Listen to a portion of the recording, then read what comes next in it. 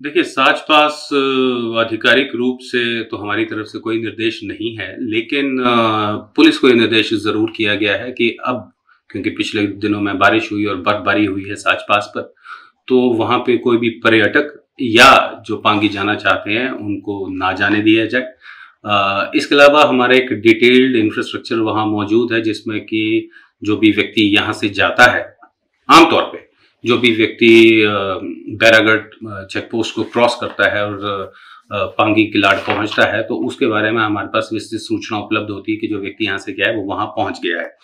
परंतु जल्द ही इस विषय पे एसडीएम